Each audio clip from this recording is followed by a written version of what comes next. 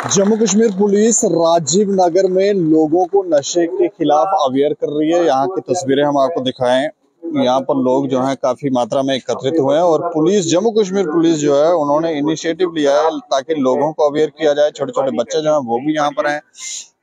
आपका बहुत बहुत शुक्रिया एसएसपी जम्मू जो है वो भी यहाँ पर पहुँचे आज ये सारा जो हजूम है यहाँ पे ये सब आपको सुनने के लिए आया तो था।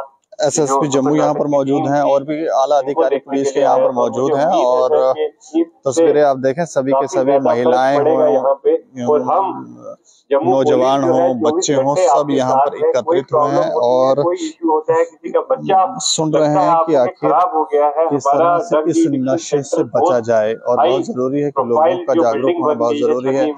और इस नशे की चपेट में जो जो भी फंसा है वो इससे बाहर नहीं निकल सका और किस तरह से बाहर निकला जाए इसके ऊपर भी प्रयास किया जा रहा है। लोग जो है सिलाई कर रहे हैं ये चीज़ें बंद कर दीजिए। हम्म।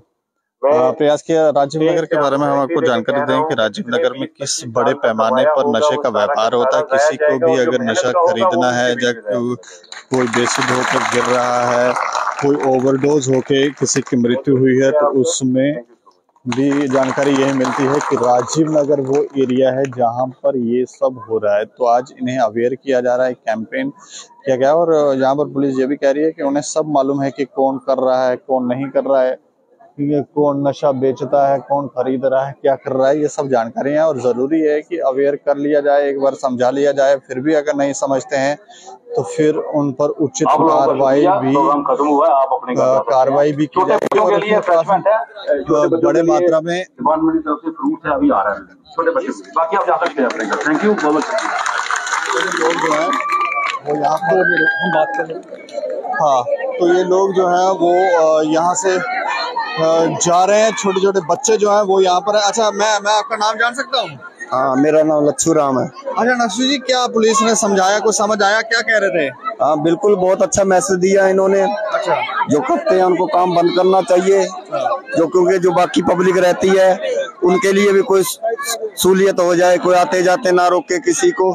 इसलिए कि इन्होंने अच्छा किया है। होता यहाँ पे, पे पुलिस कह रही है हमें जानकारी है कौन कर रहा है क्या कर रहा है? हाँ क्यों नहीं जानकारी होगी? ये कि पुलिस चौकी है इंस्पेक्टर है सब जानते हैं इस बारे में। पहली बार ऐसा कार्यक्रम हुआ पहले भी हुआ है? पहले कभी नहीं हुआ ऐसा कभी नहीं हुआ जैसे आज हुआ ना पहले कभी भी नहीं हुआ ऐसा हुआ। बहुत अच्छे तरीके से समझाया बहुत अच्छी तरीके से हुआ प्रोग्राम भी बहुत अच्छा हुआ। इसका लोगों को अमल करना चाहिए जो भी कोई करता है इसका अमल होना चाहिए। अच्छा अच्छा क्या नाम है आपका? रंजीत। अच्छा रंजीत जी की कोई गल समझ आई नहीं? नहीं समझ क्यों नहीं आई? सब कुछ है। सर सबसे ज़्यादा तो क्राइम यहीं पे हो रहे यही यही इसी इलाके में राजीव नगर में ही हो रहा मैं भी यहीं रहता हूँ। अच्छा। सबसे ज़्यादा चिट्टा बिकता है। सबसे ज़्यादा चिट्टा यही बहुत बिकता है। सर। पुलिस ने बताया कि हमें पता है? पता पुलिस को सबको पता पुलिस पकड़ती नहीं। मैं सबसे बहुत तो पुलिस को गलत बताता हूँ। हर घर का पता है। बोला नहीं आपने कि पुलिस की पुलिस ही जा नहीं सकते। बाद में हमारे ऊपर चढ़ जाएँगे वो लोग मारने के लिए।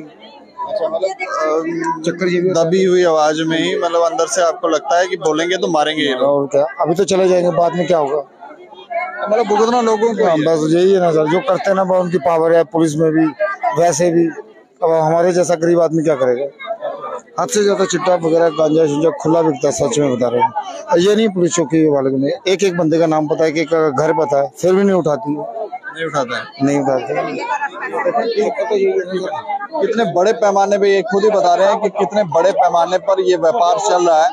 और आज इनको अवेयर किया गया खुशी भी है लोग खुश भी हैं, खाने को भी मिल रहा है रिफ्रेशमेंट मिल रही है। नुक्कड़ नाटक के ज़रिए भी पुलिस ने समझाने की कोशिश की, लेकिन यहाँ पर लोग ये आप देखेंगे, सोए ही कह रहे हैं कि माहौल यहाँ का खराब है, माहौल अच्छा नहीं है।